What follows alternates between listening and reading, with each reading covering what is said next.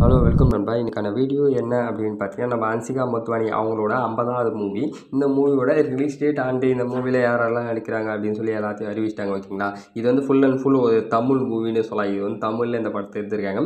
And இது வந்து நம்ம அன்சிகா மொத்வானி அவங்களோட கெரியரில் இது வந்து ஒரு இம்பார்ட்டண்டான ஒரு மூவின்னு சொல்லலாம். என்ன மூவி அப்படின்னு பார்த்தா மகா அப்படின்னு சொல்லி ஒரு ஹாரர் ஒரு ட்ரில்லர் ஒரு மூவி தான் ஓகேங்களா? ஏன்னா இதோட டீசர் ரிலீஸ் பண்ணியிருந்தாங்க. பார்க்கறது ஒரு கலர்ஃபுல்லாக ஒரு என்கேஜ்மெண்ட்டாக இருந்தது. ஒரு நல்லாவும் இருந்தது. ஏன்னா தமிழில் சூப்பராக பண்ணியிருக்காங்க. அண்ட் இது வந்து எந்த மாதிரி ஒரு ட்ரில்லர் ஜேனல் அப்படின்னு பார்த்தீங்கன்னா இது வந்து ஒரு வித்தியாசமான ஒரு கதைக்களமாட்டம் இருக்கும்னு நினைக்கிறேன். ஏன்னா அந்த டீசர் பார்க்க சொல்லி அந்த மாதிரி தான் தெரியுது. இதோட ரிலீஸ் டேட் அவங்க கன்ஃபார்மாக அறிவிச்சிட்டாங்க. இது வந்து ஏப்ரல் டுவெண்ட்டி எயிட் அன்னைக்கு ரிலீஸ் ஆகுது அப்படின்னு சொல்லி அறிவிச்சிட்டாங்க. அந்த டேட்டில் வந்து பார்த்தீங்கன்னா நம்ம காத்து வாக்கில் ரெண்டு காதல் நம்ம விக்னேஷ் சிவன் அண்ட் நயன்தாரா இவங்களோட காத்து வாக்கில் ரெண்டு காதல் அது ரிலீஸ் ஆகுது. அதே போல் இந்த மகா இந்த மூவியும் ரெண்டு ரெண்டு படங்களும் கிளாஷ் ஆக போகுதுன்னு சொல்லலாம் ஓகேங்களா ஏன்னா இது வந்து ஏப்ரல் டுவெண்ட்டி எயிட் ரிலீஸ் ஆக போகுது அப்படின்னு சொல்லி ஒரு நியூ போஸ்ட்டோட ரிலீஸ் ரிலீஸ் பண்ணிட்டாங்க. இதில் வந்து நம்ம கேமியா ரோல் வந்து பார்த்தீங்கன்னா நம்ம சிம்பு சார் இந்த படத்தில் நடிச்சிருக்காரு ஓகேங்களா ஏன்னா ஒரு பாட்டுக்கு சிம்பு சாரும் வராரு.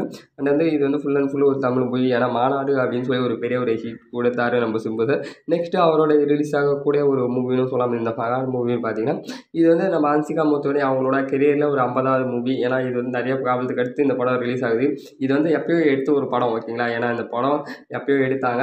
கொஞ்சம் கொஞ்சம் அந்த ப்ரொடக்ஷன் சைடில் கொஞ்சம் ப்ராப்ளம் இருந்தாலும் அது எல்லாத்தையும் கிளியர் பண்ணி இப்போ இந்த படத்தை டேட்டிக்கில் ரிலீஸ் பண்ணுறாங்க ஏன்னா சிம்பு சாருக்கு இப்போ பெரிய ஒரு மார்க்கெட் கேட்டே இருக்குது அண்ட் இந்த படத்தில் ஒரு பையன் சிம்பு சாராக நடிச்சிருப்பார். ஒரு எப்படி ஒரு ரெண்டு மூணு படம் முன்னால் நம்ம பார்த்துருந்தோம் அப்படின்னா இந்த பாரு ஈஸ்வரனுக்கு முன்னாடி படம் நம்ம பார்த்தோம்னா எப்படி இருந்தாலும் அந்த மாதிரி இந்த படத்தில் நினச்சிருக்காரு கொஞ்சம் சூப்பராக ஒரு ஸ்டைலிஷாக இருக்காரு.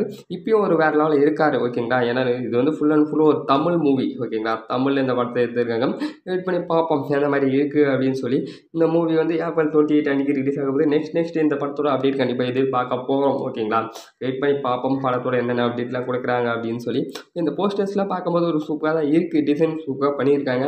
வெயிட் பண்ணி பார்ப்போம் என்ன நடக்குது அப்படின்னு சொல்லி. ஓகே நீங்கள் சொல்லுங்கள் இந்த படத்துக்கு எவ்வளோ எவ்வளோ வெயிட் பண்ணிட்டு இருக்கீங்க? இந்த தமிழ் மூவிக்காக எவ்வளோ வெயிட் பண்ணிட்டு இருக்கீங்க? அப்படிங்கிற கவனம் வாசலில் மென்ஷன் பண்ணுங்கள் இதோட பிடிச்சா லைக் ஷேர் சப்ஸ்கிரைப் எம்மி தமிழ். வேறு ஒரு வீடியோவில் வேறு கான்செப்ட் சந்திக்கிறேன். ஹேவியர் நெக்ஸ்ட் டே